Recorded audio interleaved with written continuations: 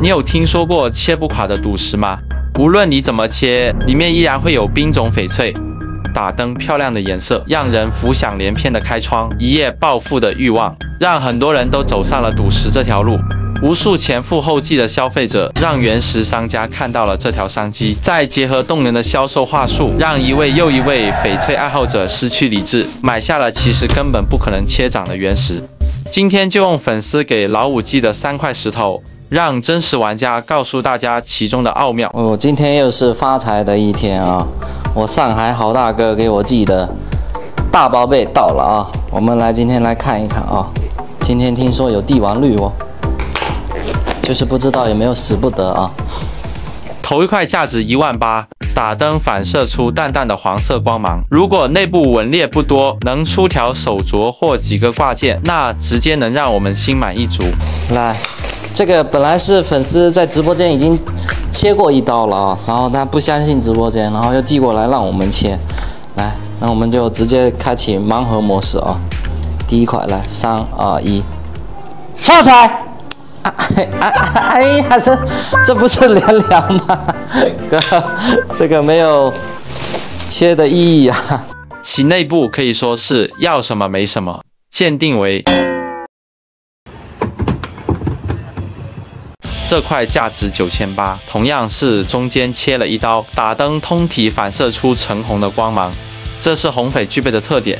在如今市场上，好的红翡不仅少见，价格更是居高不下。这块不得了啊，红翡啊，顶级红翡！来，你们看一下顶级红翡。但上面的流氓窗让这一切打上了问号。来，那让我们来见证奇迹，看看红翡会不会内化啊！三二一，大涨啊！哎呀，这个也凉凉啊，这个没没得搞了呀。和第一块有过而不及，打灯看泛橙红的表现其实是烧红的，并没有价值。然后这一块石头也可以看得出来，就是典型的那种烧红的料子。你看整体通红，如果是天然红的话，它通常只有雾层有，只有雾层有有红翡，然后里面肉质一般是白的，啊，也有可能里面肉质是黄的。反正就是红翡的料子通常只有雾层有，它不可能整块石头都是红的。你看，那切开就是这个已经显而易见了，就是烧红的。没有意义啊！最后一块全村的希望，价值六千八，好吧，那我们今天就把这一块给它扒一下皮吧，啊，看看这一块能做东西吗？到底能不能救回来一点，挽回来一点损失啊？切割出来，虽然打灯有着情底的表现，但内部种水过于细嫩，纹裂也过多，属于公斤料。首先它这个种水也没达到，就是比较偏嫩的，啊，比较糯的，啊。